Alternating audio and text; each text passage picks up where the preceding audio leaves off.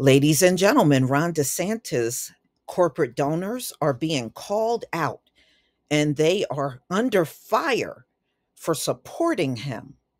So, what companies? Amazon, Disney, Walmart, and we know what Ron DeSantis has done during Black History Month. So, political activism is ramping up in Florida, and they are condemning large corporations that use Black History Month to denounce racism while donating to Ron DeSantis. Who are these corporations? Amazon, AT&T, Comcast, Disney, and Walmart are among a few of companies that publicly proclaim their commitment to anti racist values, especially after the 2020 murder of George Floyd.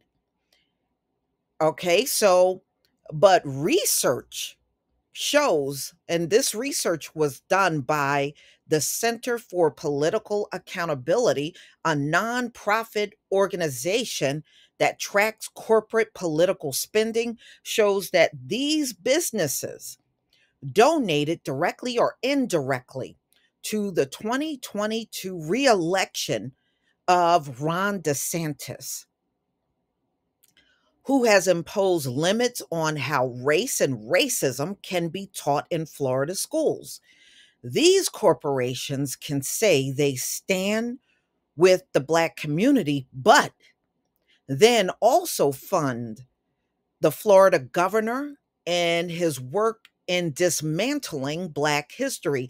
And look at the timing of this, y'all. It is no coincidence that these things are occurring during Black History Month. You had the incident in Alabama where they didn't want um, Black history taught before the 1970s. You had the incident where South Carolina passed a law literally saying you can't teach Black history in South Carolina. And then you got Ron DeSantis and the AP African American course. Look at how all of this is occurring during Black history. You think these folks didn't time this? You got another thought coming. Of course they did. Of course they did. So they're saying, you know, look at how all of this just like is occurring during Black History Month. And it's a huge level of hypocrisy. Corporations have increasingly taken a stand on social and racial justice issues in recent years and often see Black History Month as an ideal opportunity to promote themselves. Many express solidarity on social media or tout programs within the company to highlight the contributions of black employees. Amazon, AT&T, Coca-Cola, Comcast, DoorDash, General Motors, and Walmart have all made public statements, they sure have, in celebration of Black History Month. Google posted online on February 1st, learn how Google is recognizing and celebrating Black voices, joy, and success this Black History Month. But the Center for Political Accountability found that each of these companies donated significant amounts of money to political groups that predominantly supported Ron DeSantis. Disney writes on its resort's uh, webpage during Black History Month in February, the Disney Park blog will celebrate Black stories and highlight special experiences at Disneyland resorts and Walt Disney World Resort. Yet, early in the election cycle and before its relationship with Ron DeSantis fully soured, Disney contributed $50,000 to his reelection campaign and $120,000 to the Republican Party of Florida, which supported his program and campaign and inauguration.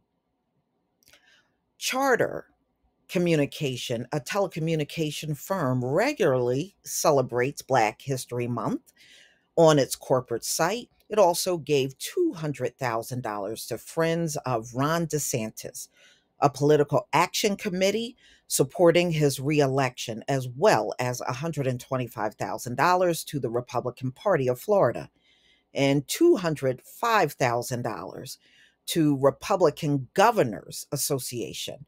Both huge donations to Ron DeSantis. And you know what the funny part is? Disney did all that donating and he flipped on Disney. They are pissed off at him. Well, they got what they deserved.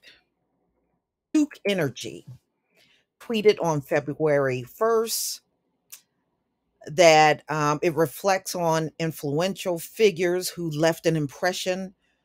And while hashtag Black History Month is a time to celebrate the impact of African Americans, our commitment to fostering a culture of diversity, equity, and inclusion is a year round function. The company also gave $2 million to the Republican Party of Florida, which has embraced DeSantis' crackdown on woke policies on race gender and public health. So they're being a hypocrite. So on their website, they act like they're so enthusiastic about celebrating Black History Month, and then they're siding with Ron DeSantis with these woke policies.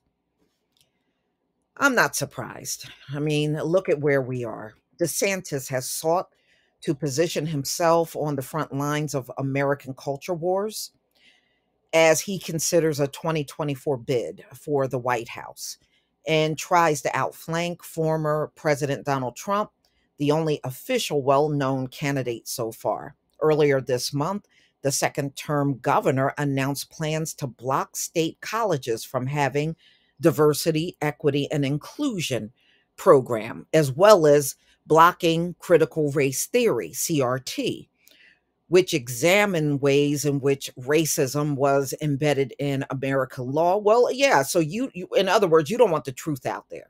That's it.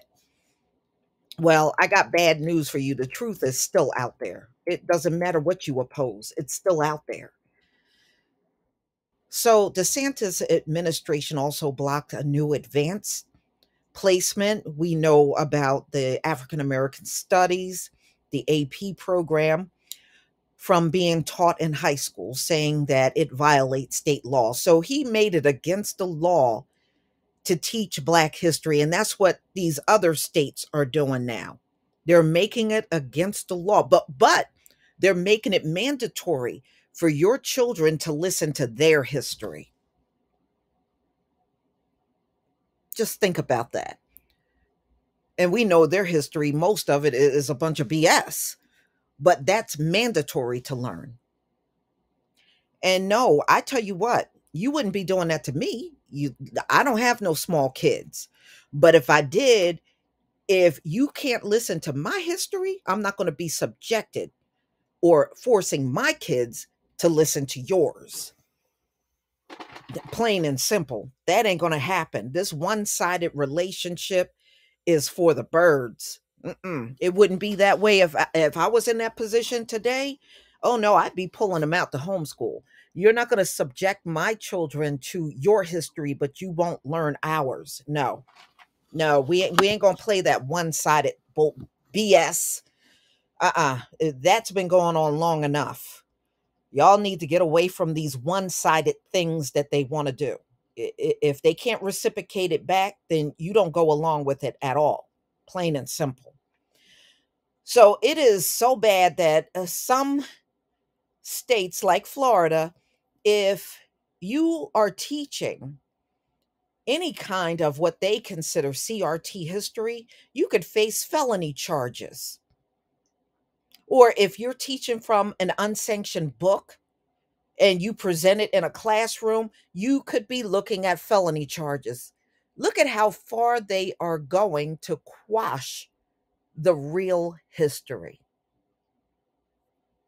But you got these corporate donors that are backing this up, y'all.